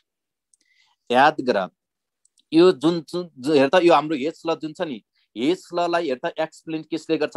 First law of थर्मोडाइनामिकले first law of thermodynamic मैले केबाट हेर त तिमीलाई सिकाउने छु न त। ओके क्वेसनबाट सिकाउने छु। यसमा यो केसमा मात्रै डिपेन्ड हुन्छ? Only only depends upon the initial reactant initial reactant and final product. Final product यो कुरा तिमीले के गर्नु पर्यो? याद गर्नु पर्यो सबभन्दा सुरुमा। अनि याद गर। यसलाई चाहिँ कसले मात्रै एक्सप्लेन गर्न सक्छ भन त? यसलाई कसले मात्रै एक्सप्लेन गर्न सक्छ न त? दिस हेर त? This law is based on this law is मैले के लेखेँ based on first law of first law of thermodynamic. First law of thermodynamic. First law of थर्मोडाइनामिक्सले के भन्छ थाहा छ फर्स्ट ल अफ थर्मोडाइनामिकले के भन्छ फर्स्ट ल अफ थर्मोडाइनामिकले के भन्छ तिमीलाई थाहा छ ल अफ कन्जर्भेसन अफ इनर्जीको बारेमा एक्सप्लेन गरे हुन्छ क्या? होइन र? यति मात्रै बुझ्ने। यस ल भनेको एउटा स्टेपमा रियाक्सन कम्प्लिट हुँदा होस् या नम्बर अफ स्टेपमा रियाक्सन कम्प्लिट हुँदाखेरि जहिले पनि हिट चेन्ज भनेको के हुन्छ? हिट चेन्ज भनेको जहिले पनि के हुन्छ? सेम हुन्छ। हो यसलाई नै हामीले के भन्यो? हेस ल भन्ने हो। हेस ल भनेको कहिल्यै पनि हेर त इन्टरमिडिएटमा के हुँदैन? डिपेन्ड हुँदैन. प्रोडक्टको इन्टरमिडिएटमा के हुँदैन? डिपेन्ड हुँदैन. अर्को भनेको याद गर। अर्को भनेको याद गर। यो भनेको हेर त केसमा मात्र डिपेन्ड हुन्छ? इनिसियल रियाक्टेन्ट र फाइनल प्रोडक्टमा मात्रै के हुन्छ? डिपेन्ड हुन्छ। हेर त this can be explain by first law of thermodynamic हेर त first law of thermodynamic first law of थर्मोडाइनामिकले मात्र के गर्न सक्छ? यसलाई एक्सप्लेन गर्न सक्छ। यो कुरा हामीले के गर्नु पर्यो? सबभन्दा सुरुमा राम्रोसँग याद गर्न पर्यो। ओके यो भनेको हाम्रो सेकेन्ड ल अफ भनेर बुझ्दा पनि हुन्छ क्या। एक्जाममा सोध्ने क्वेसन यो लेभलको हुन्छ। हामी क्वेसनबाट के गरौँ? इलिस्ट्रेट गरौँ। एकदमै सर्टकटमा तर एउटा पनि कुरा नछुटाइसँग पढाएको छु जस्तो लाग्छ मैले। ओके तिमीलाई कतिको इफेक्टिभ लाग्दैछ क्लास भन त? कतिको इफेक्टिभ लाग्दैछ भन त? क्वेसन यस्तो आयो second law of thermodynamic states that second law of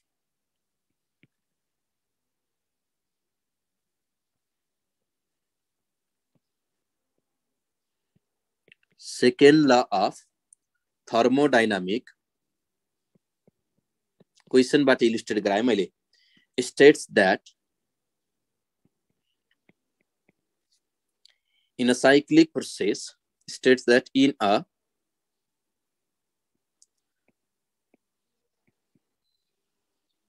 in a cyclic process. याद करो second law of thermodynamics states that, in a cyclic process. Option A मा लेखेँ मैले अप्सन एमा लेखेँ अबको कति दिनमा सबै च्याप्टर सकिन्छ अब के त शुक्रबारसम्म तिम्रो के हुन्छ सबै कोर्स सकिन्छ है मैले के लेखेँ or can not be converted or can not be converted into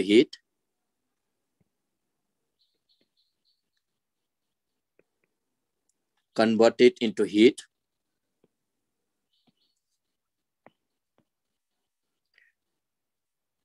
It cannot be converted into work. It cannot be converted into work or cannot be work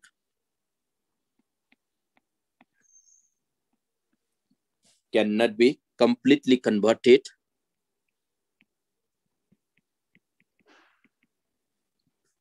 completely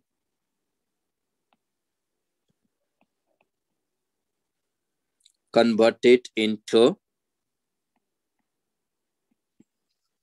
heat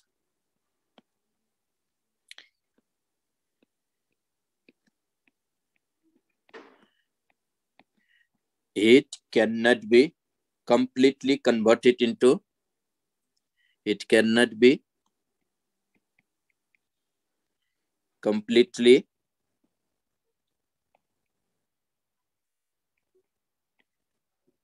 converted into work ल यसको answer भन त हेर त second law thermodynamic states that or can not be converted into heat heat can not be converted into or याद गर or can not be converted into heat heat can not be completely converted into work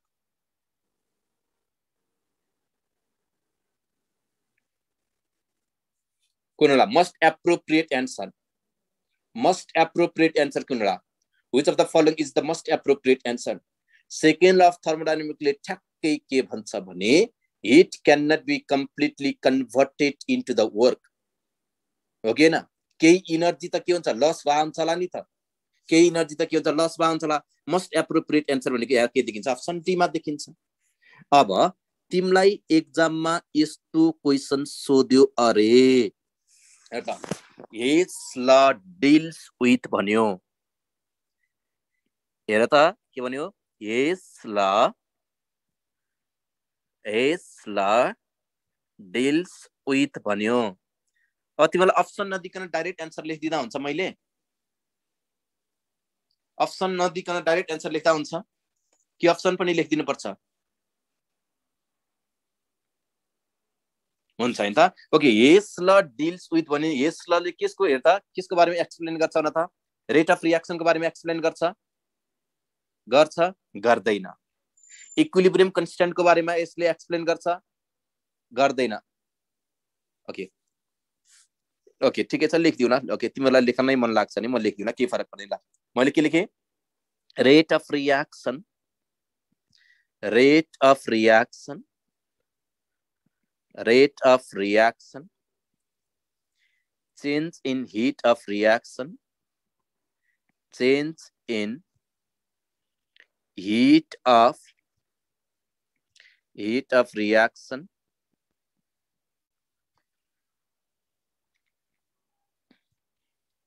Okay equilibrium constant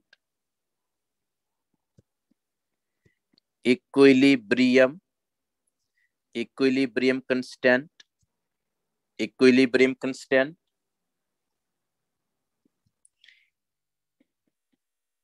influence of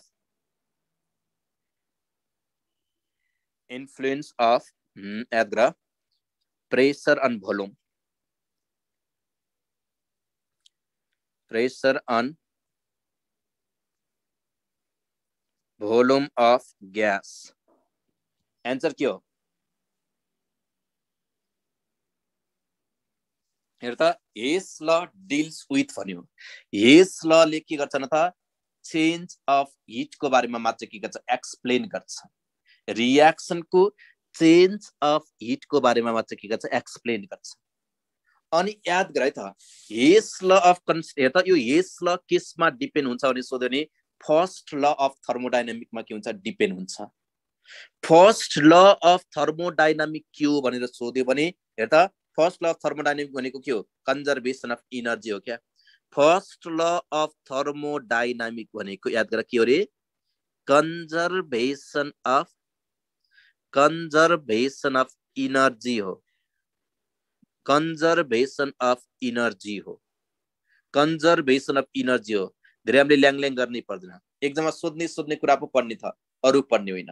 यस ल केसमा depend हुन्छ भने सोध्यो भने initial and final condition of reacting substance. केसमा depend हुन्छ initial and final condition of reacting substance. बुझ्यौ? Initial र फाइनलमा मात्रै के हुन्छ?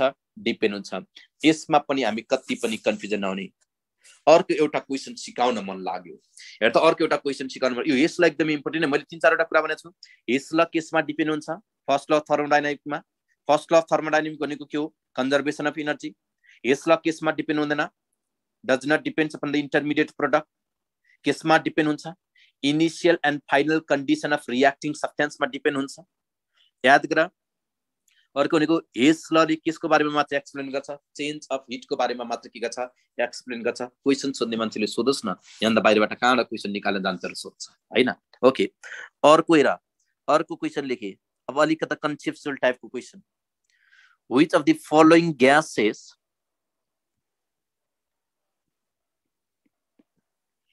which of the याद गर मैले लेख्दैछु which of the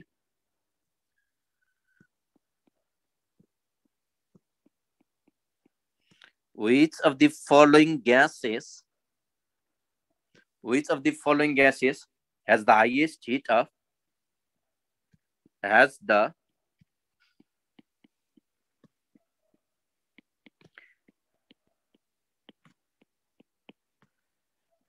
highest heat of combustion highest heat of combustion highest heat of combustion. Methane,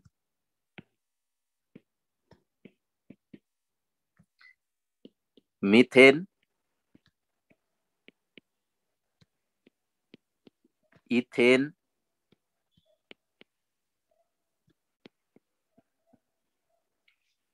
ethylene,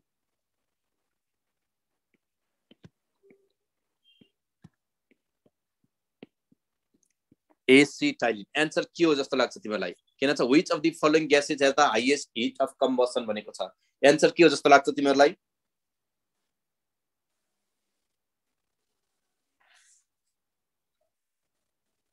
Option A B C D तिमीलाई एन्सर कुन जस्तो लाग्छ? Which one of the following is the correct answer which one of the following is the correct answer मलाई बताउन सक्छौ? मलाई बताउन सक्छौ which one of the following is the correct answer please give response option D आनिक one त्यही भएर हो। हो यहीँनिर हामी चुक्छौँ यस्तै क्वेसनले गर्दाखेरि हामीलाई चिफ्ल्याइदिन्छ मलाई बताइदेऊ त मिथेन इथेन इथाइलिन एसिटाइलिन यो मध्ये सबैभन्दा धेरै मोलार मास कसको हुन्छ? मोलार मास कसको हुन्छ? मोलिकुलर वेट सबैभन्दा धेरै कसको हुन्छ? फेरि डी भन्छौँ। सबैभन्दा मोलिकुलर वेट यसमा धेरै केसको हुन्छ न त?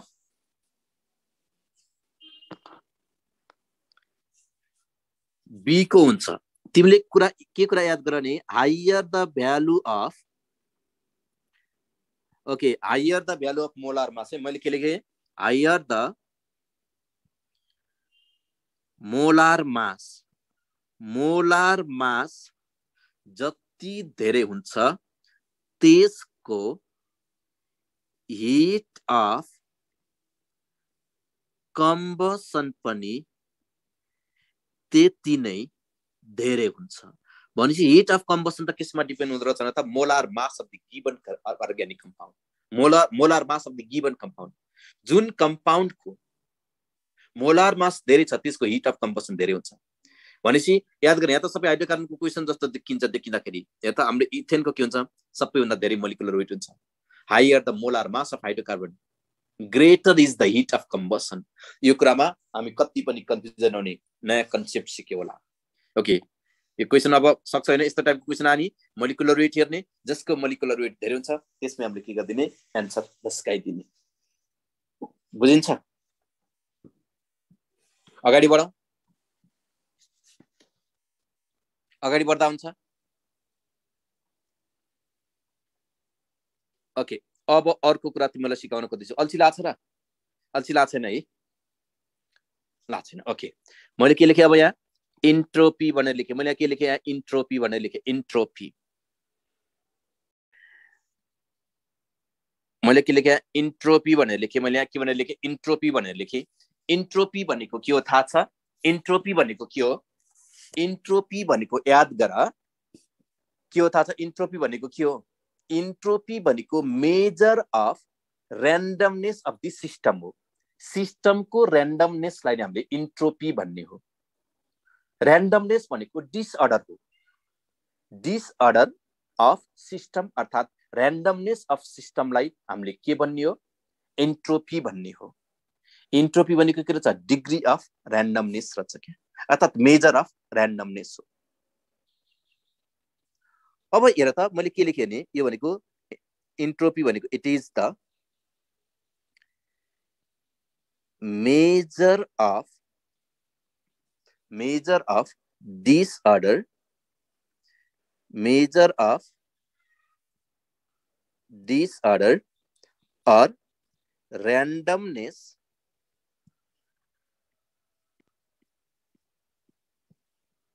randomness of the randomness of the system. यसलाई नै हामीले के भन्यो इन्ट्रोपी भन्ने हो। जति धेरै सिस्टममा ऱ्यान्डमनेस हुन्छ त्यति नै के हुन्छ? इन्ट्रोपी धेरै हुन्छ। सबैभन्दा धेरै हेर त सबैभन्दा धेरै याद गर त ऱ्यान्डमनेस केसमा हुन्छ? ग्यासमा हुन्छ। सबैभन्दा थोरै केसमा हुन्छ? लिक्विडमा हुन्छ। प्योर क्रिस्टलको इन्ट्रोपी जहिले पनि के हुन्छ? जिरो हुन्छ। इन्ट्रोपी भनेको स्टेट फङ्सन पनि हो। हेर त कति धेरै इम्पोर्टेन्ट कुरा भनिसकेँ मैले यहाँ कति धेरै इम्पोर्टेन्ट कुरा भनिसकेँ। मैले किन छु जति धेरै के हुन्छ न त इन्ट्रोपी हुन्छ नि जति धेरै ऱ्यान्डमनेस हुन्छ त्यति नै धेरै के हुन्छ न त okay greater the randomness in the system greater the disorder or randomness of system randomness of system system greater is its entropy. Greater is its greater is its greater is its entropy pure क्रिस्टलमा entropy जहिले पनि के हुन्छ? Zero हुन्छ। याद गर। अब हामीले इन्ट्रोपीलाई कसले रिप्रेजेन्टेसन गर्छ थाहा छ? इन्ट्रोपीलाई कसले रिप्रेजेन्टेसन गर्छौ? एसले रिप्रेजेन्टेसन गर्छौँ। मैले किन छु? फर प्योर क्रिस्टल प्योर क्रिस्टलमा प्योर क्रिस्टलमा इन्ट्रोपी भने प्योर क्रिस्टलको इन्ट्रोपी भने के हुन्छ? जिरो हुन्छ। याद गर यो भनेको हाम्रो के हो? इन्ट्रोपी भनेको त स्टेट फङ्सन पनि हो नि त। इन्ट्रोपी भनेको स्टेट फङ्सन हो होइन र? स्टेट फङ्सन हो। इन्ट्रोपी भनेको हेर त इन्टेन्सिभ प्रोपर्टी हो कि एक्सटेन्सिभ प्रोपर्टी हो भन त इन्ट्रोपी भनेको एक्सटेन्सिभ प्रोपर्टीको इन्टेन्सिभ प्रोपर्टी हो? प्लिज मलाई एन्सर भनिदेऊ। यो भनेको एक्सटेन्सिभ प्रोपर्टी हो। यो भनेको के हो अरे एक्सटेन्सिभ प्रोपर्टी हो। एक्सटेन्सिभ प्रोपर्टी हो। अब हेर त याद गर डिक्रिजिङ अर्डर अफ इन्ट्रोपी भनेर लेखेँ मैले यहाँ decreasing order of entropy decreasing decreasing order of decreasing order of मैले के लेखेँ इन्ट्रोपी भनेर लेखेँ। डिक्रिजिङ अर्डर अफ अब त डिक्रिजिङ अर्डर अफ इन्ट्रोपीमा र सबैभन्दा धेरै इन्ट्रोपी ऱ्यान्डमनेस डिसअर्डरनेस ग्यासमा देखिन्छ। ग्यास पछाडि केसमा देखिन्छ? लिक्विडमा देखिन्छ। सबैभन्दा थोरै इन्ट्रोपी अर्थात् डिसअर्डरनेस केसमा देखिन्छ भने त सोलिडमा देखिन्छ।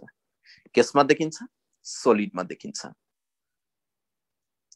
रिभर्सिबल रियाक्सन जुन छ नि रिभर्सिबल रियाक्सनमा रिभर्सिबल रियाक्सनमा हेर त याद गर हामीले जहिले पनि इन्ट्रोपी निकाल्ने चेन्ज इन इन्ट्रोपी निकाल्ने फर्मुला के हुन्छ? रिभर्सिबल रियाक्सन फर रिभर्सिबल हेर त यो फर रिभर्सिबल रियाक्सन जुन छ नि रिभर्सिबल रियाक्सनमा रिभर्सिबल रियाक्सनमा चेन्ज इन इन्ट्रोपी निकाल्ने फर्मुला के हुन्छ चेन्ज इन इन्ट्रोपी निकाल्ने फर्मुला के हुन्छ रिभर्सिबल रियाक्सनमा रिभर्सिबल रियाक्सनमा चेन्ज इन इन्ट्रोपी निकाल्ने फर्मुला के हुन्छ थाहा छ ओके के हो रिभर्सिबल हो यो के हो त रिभर्सिबल अपन मैले के लेखेँ ओके टेम्परेचर टी यो कुरा हामीले के गर्नु पर्यो याद गर्नु डेलेस भनेको के हो चेन्ज इन इन्ट्रोपी हो यो डेलेस जुन छ डेलेस भनेको के हो त डेलेस भनेको के हो चेन्ज इन इन्ट्रोपी हो डेलेस भनेको change in change in entropy हो चेन्ज इन इन्ट्रोपी हो चेन्ज इन इन्ट्रोपी भनेको याद गर के हो त हेर त के भन त? S final S final minus के हुन्छ? एस इनिसियल इनिसियल इनिसियल यो कुरा के गर्नु पर्यो? हामीले याद गर्नु पर्यो। हामी कहिले पनि कन्फ्युजन हुँदैनौँ भने अब तिमीलाई मैले के कुरा सिकाउनु खोज्दैछु भने हेर त अब तिमीहरूले थाहा छ स्पोन्टेनियस रियाक्सन र नन स्पोन्टेनियस रियाक्सन भनेर थाहा छ। स्पोन्टेनियस रियाक्सन भन्नु। नेचुरल रियाक्सन भन्ने एउटै कुरा हो जस्तै स्पोन्टेनियस रियाक्सन भनेको कुनै पनि एक्सटर्नल एजेन्सी बिना कुनै पनि एक्सटर्नल इनर्जी नलगाइकन एक्सटर्नल एजेन्सी युज नगरिकन त्यो रियाक्सन प्रोसिड हुन्छ भने त्यसलाई हामीले के भन्ने हो स्पोन्टेनियस रियाक्सन भन्ने हो स्पोन्टेनियस रियाक्सन भनेको के हो?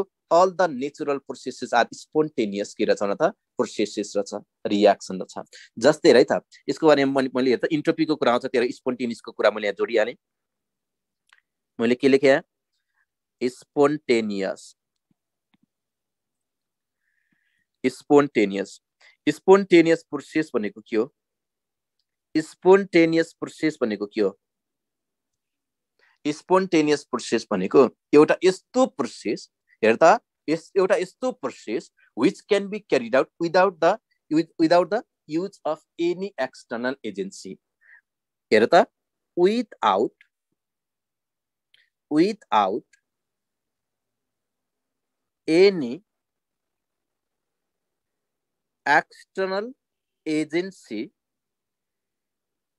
कुनै पनि एक्सटर्नल इनर्जी युज नगरिकन कुनै पनि रियाक्सन प्रोसिड हुन्छ भने त्यसलाई हामीले के भने spontaneous without any external agency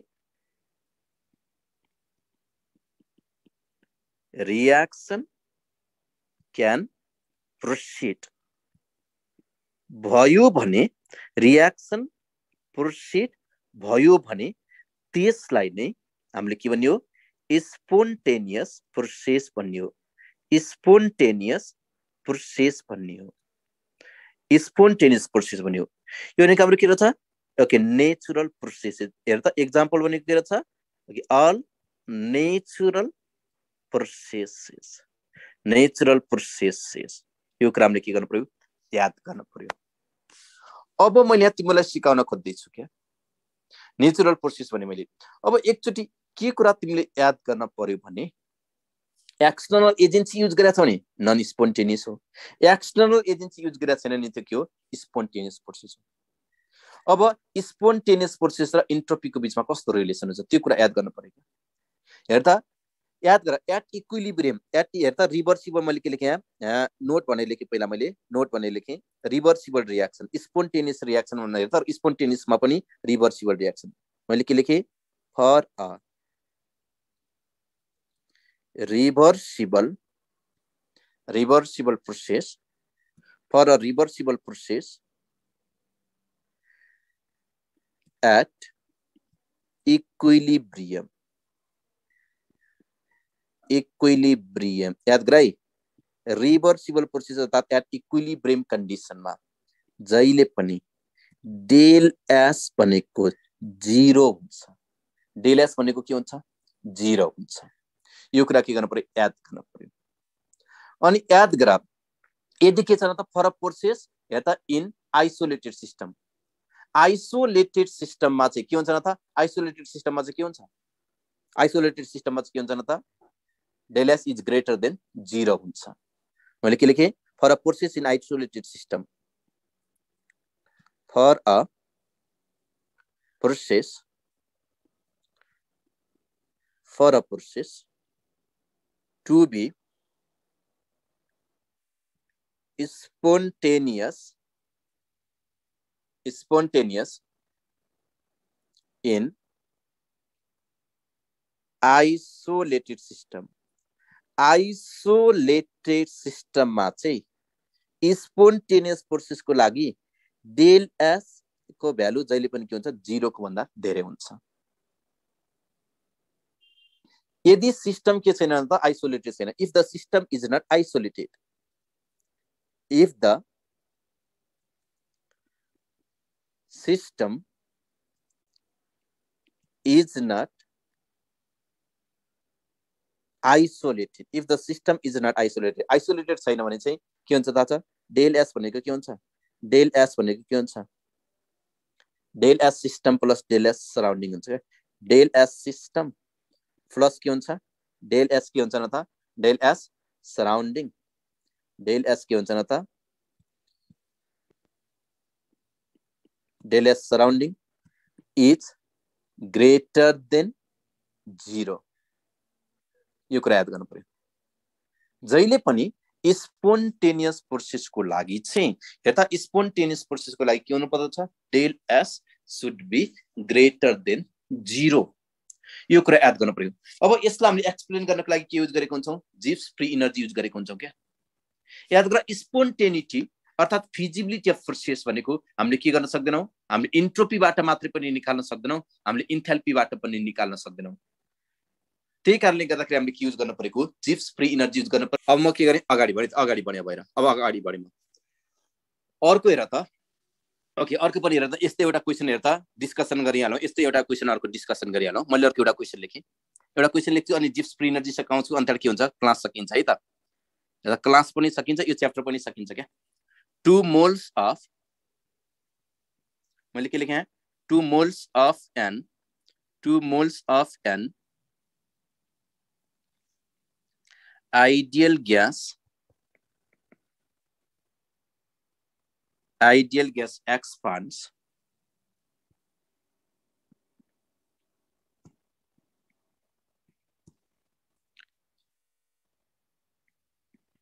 spontaneously. Into a vacuum. The work done is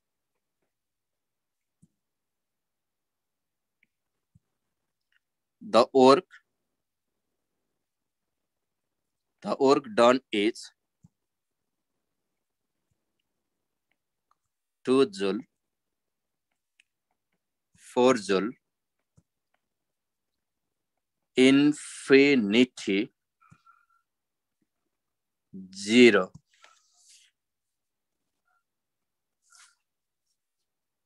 expansion भन्ने बित्तिकै दायाँ बायाँ केही पनि नसोच जिरो एक्सपान्सन भन्ने बित्तिकै दायाँ बायाँ केही पनि नसोच्ने। एन्सर के हुन्छ? Zero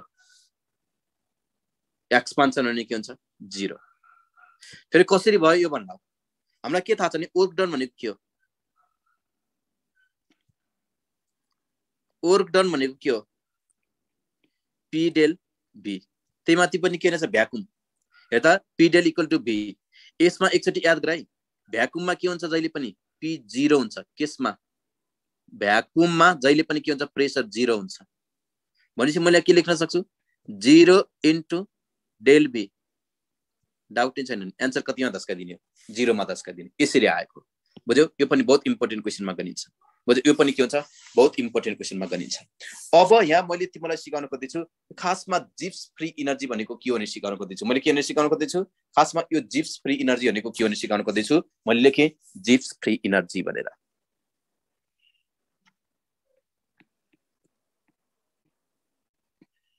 Gives free energy.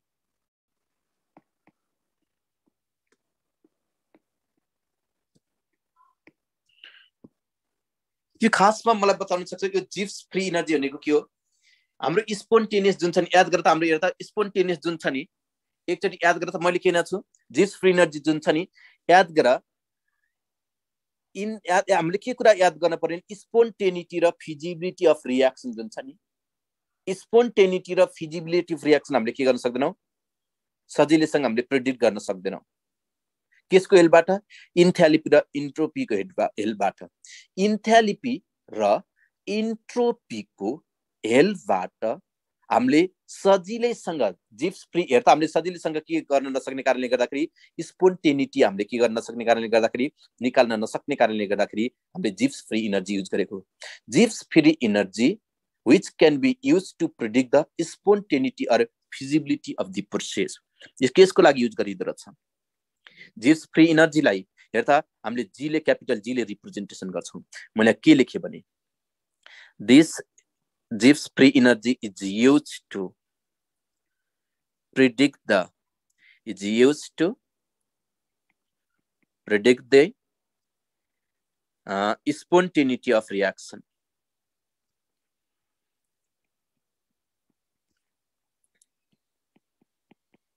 spontaneity or feasibility of the process भनेको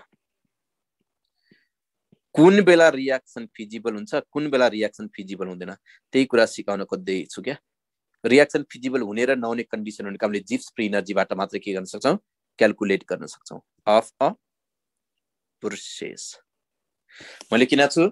यो Gibbs free energy which is used to predict the spontaneity of reaction feasible भन्नाले रियाक्सन पोसिबल हुन्छ कि हुँदैन भने हो। जस्तै यो जिप्स फ्री इनर्जी जुन छ नि Gibbs free energy which can be mathematically expressed as मैले के लेखेँ? एच माइनस टिएस लेखेँ। जी भनेको फ्री इनर्जी हो। एच भनेको इन्थेल्पी हो। एच भनेको के हो? त एच भनेको के हो? इन्थेल्पी अफ द सिस्टम हो। इन्थेल्पी इन्थेल्पी अफ के हो त इन्थेल्पी अफ के हो सिस्टम हो इन्थेल्पी अफ सिस्टम हो कन्फ्युजन नहुने एस भनेको के हो इन्ट्रोपी अफ द सिस्टम हो entropy entropy of the entropy of the के हो सिस्टम हो इन्ट्रोपी अफ द सिस्टम हो याद गर टी भनेको एब्सोल्युट टेम्परेचर हो टी भनेको के रहेछ एब्सोल्युट एब्सोल्युट एब्सोल्युट टेम्परेचर हो यसमा याद गर चेन्ज इन फ्री इनर्जी हेर त चेन्ज इन के हो भने जिप्स फ्री इनर्जी भन्यो। Change in Gibbs free energy भनेको चाहिँ फेरि के हो? Change in Gibbs free energy भनेको चाहिँ के हो? डेल जी हो कि होइन? डेल जी इक्वल टु हाम्रो के हुन्छ न त? Del H change in enthalpy okay हेर त एट कन्सटेन्ट के त at constant temperature at constant temperature absolute temperature भने चाहिँ कन्सटेन्ट टेम्परेचर भने बुझ मैले के लेख्न सक्छु? ओके डेल एस लेख्न सक्छु। यसलाई हामीले के पनि भन्छ थाहा छ? यो जिप्स फ्री इनर्जी कसले दिएको? हेलमोन्सले दिएको। यो इक्वेसन हामीले के मात्रै पनि भन्न सक्छौँ? के मात्रै भन्न पनि सक्छौँ? जिप्स याद गर